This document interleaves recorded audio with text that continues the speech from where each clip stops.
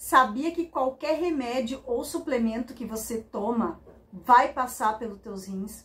Um em cada cinco casos de insuficiência renal aguda é devido aos medicamentos, justamente porque uma das principais funções dos rins é eliminar a toxina, os resíduos, as substâncias tóxicas que circulam dentro do nosso corpo. Eles também vão retirar o excesso de líquido, filtrando sangue para produzir a urina. E além disso, os rins mantêm os níveis de eletrólitos, que são os sais do corpo equilibrados, e vão produzir hormônios que influenciam lá na pressão sanguínea, nos seus ossos e no seu sangue. E se alguma toxina lesar o rim, ele pode deixar de fazer o trabalho dele. Por isso que é importante saber se o remédio que você está tomando pode ou não prejudicar o teu rim. E esse é o assunto do vídeo de hoje. Quais os 10 tipos de remédios comuns que podem prejudicar os rins e podem fazer e podem fazer seus rins ficarem lesados e o que fazer para que seus rins não sejam lesados. Mas antes quero te pedir para curtir esse vídeo, se inscrever no canal, ativar as notificações para não perder nenhuma dica de saúde e bem-estar. E também espalhe esse conhecimento com teus amigos e familiares, porque ser, se tratando da nossa saúde é importante a gente compartilhar. Sabia que cerca de 10 milhões de brasileiros têm algum grau de insuficiência renal e muitos nem sabem que tem?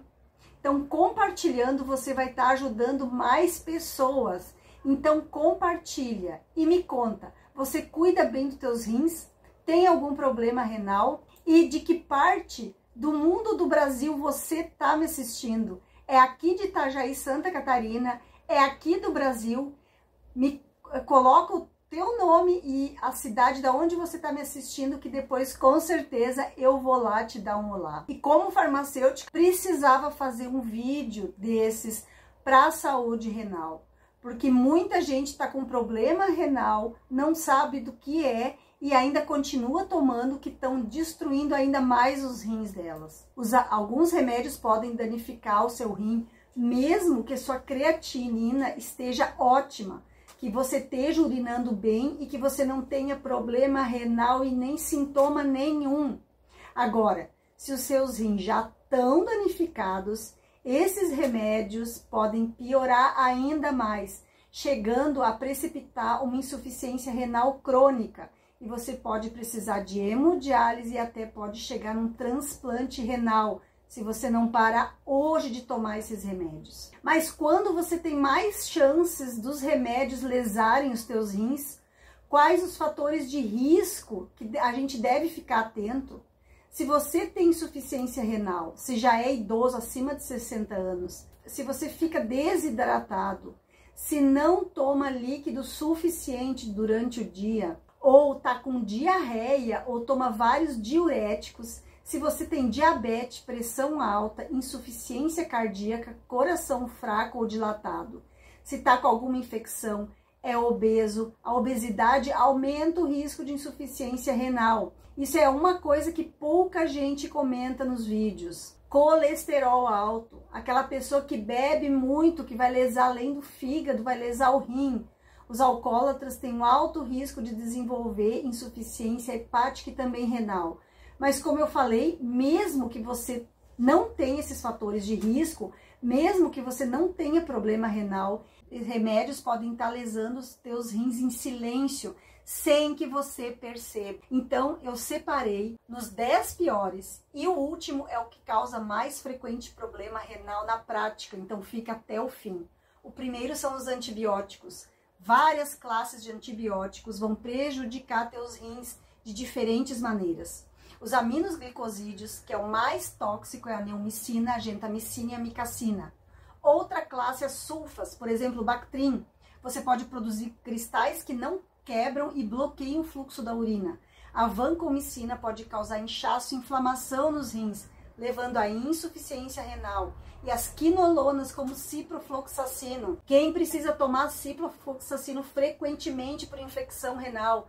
Sabia que pode levar nefrite intersticial. E lembrando que você que tem problema renal, as doses devem ser reduzidas para não lesar ainda mais os rins. Agora o número dois, você que está na farmácia toda semana comprando laxante, muito cuidado. Em geral, os laxantes eles são seguros para a maioria das pessoas.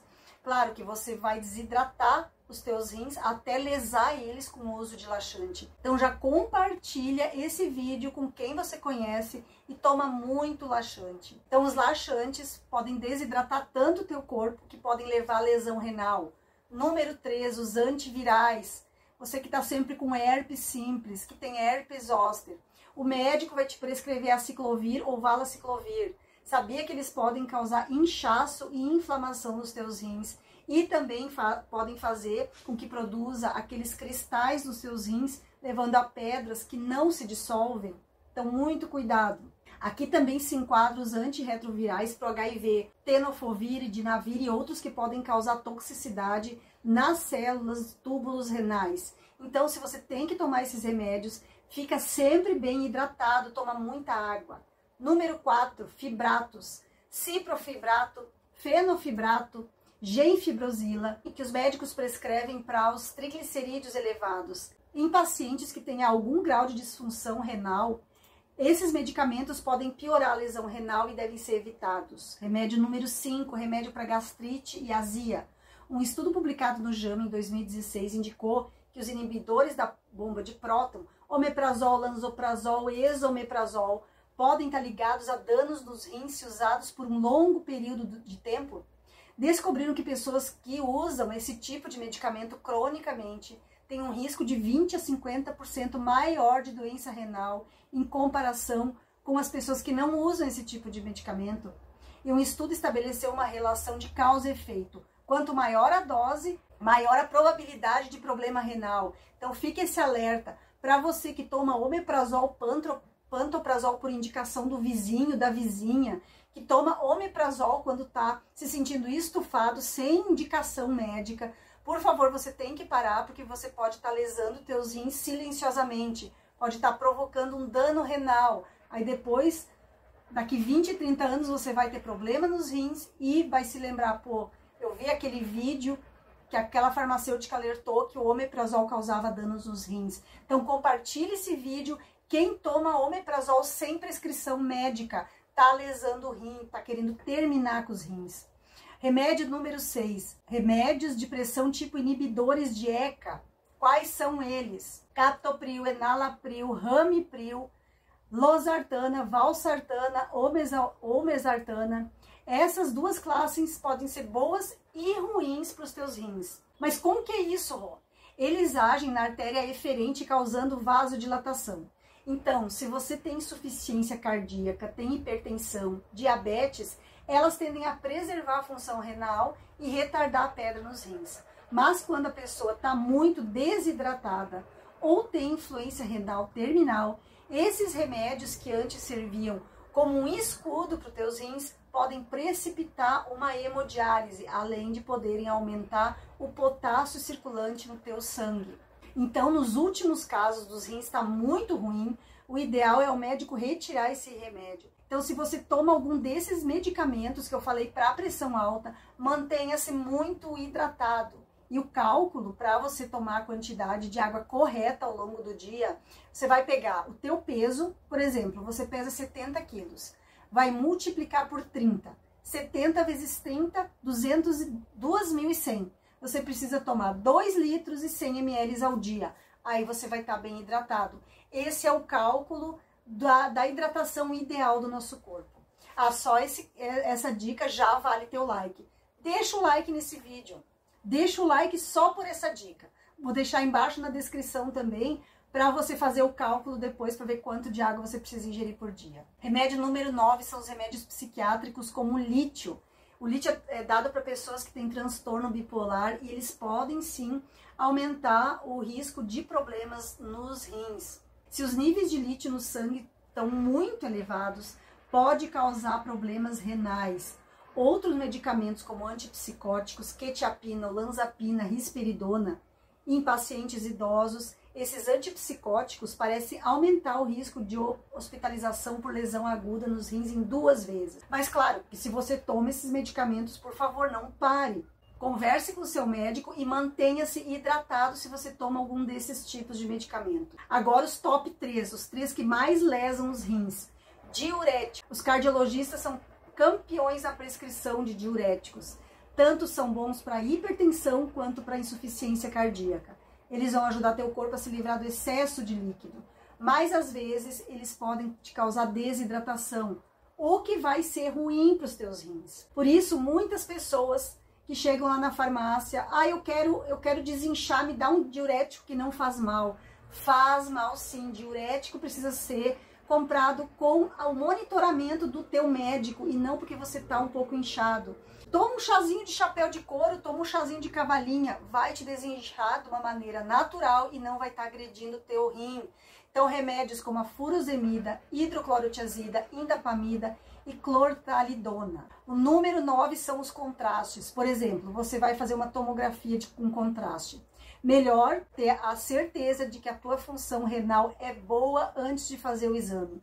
O contraste iodado, ele pode induzir a nefropatia por contraste. E não é só tomografia que usa contraste não. A angiografia, cateterismo cardíaco, urografia excretora, todos eles usam iodo, que pode ser nefrotóxico. Agora, o contraste da ressonância é perigosa apenas em caso de insuficiência renal que já está avançada.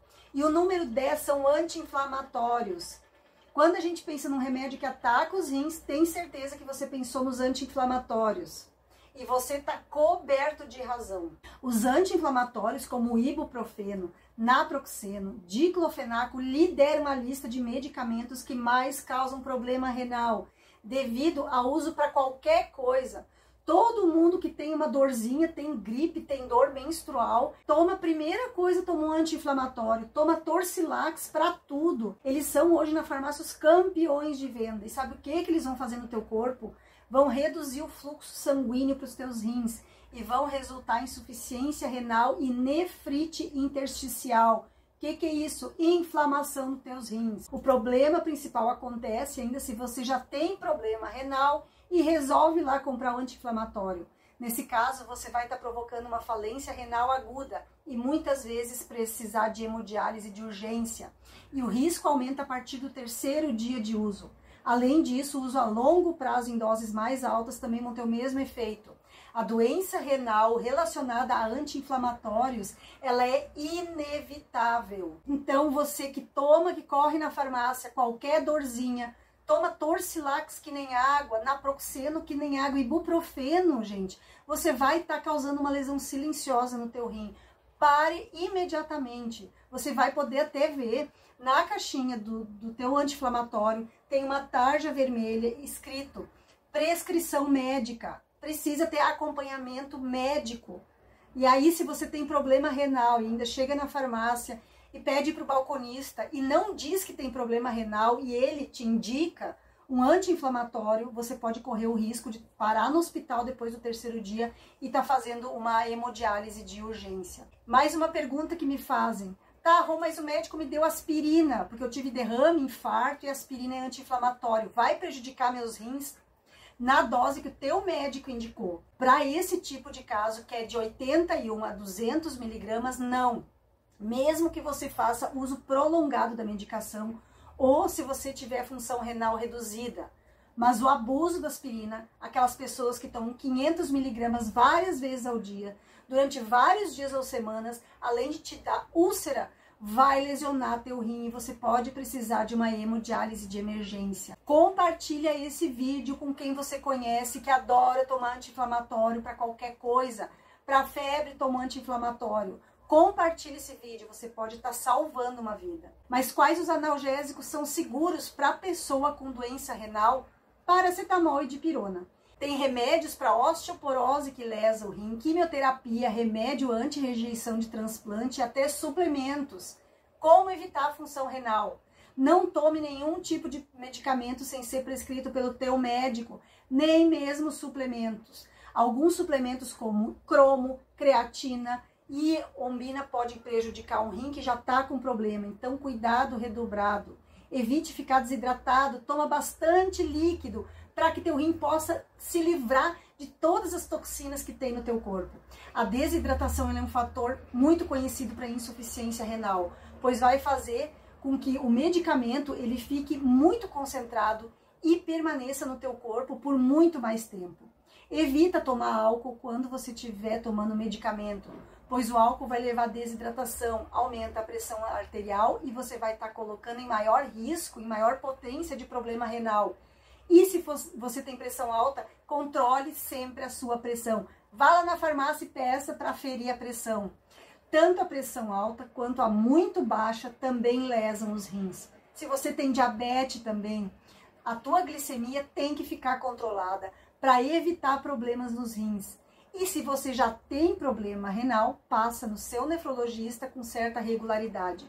E é sempre bom, bom lembrar que quem tem problema renal não deve ingerir carambola, deve evitar comer a carambola, tanto suco quanto a fruta. A carambola ela tem uma substância de nome caramboxina, que é neurotóxica se você não consegue excretar ela pelos rins.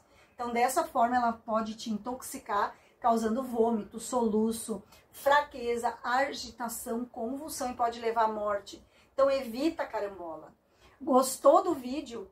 Aprendeu sobre os remédios que lesam os rins?